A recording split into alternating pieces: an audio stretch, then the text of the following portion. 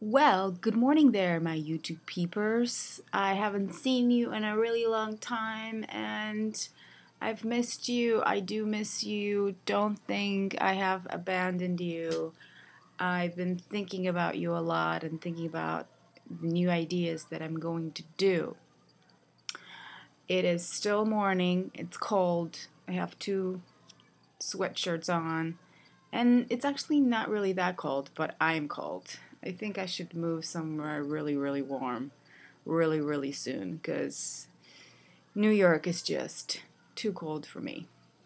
So, tomorrow is my um, kitty's surgery, which I'm, you know, excited about. I'm a little worried, but mostly I'm excited because I kind of want to get this done with. He's He's has this wound that has not been healing for a while, and it's just it needs to be dealt with and it needs to be done.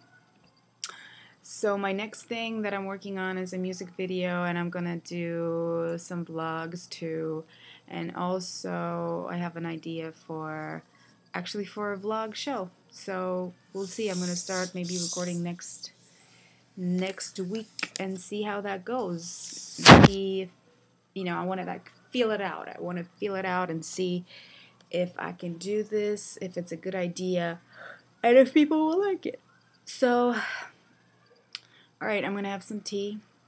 I'm gonna have some breakfast, and I'll see you guys tomorrow. Let's see, you know, how the surgery will, will go. Hope you're having a good day.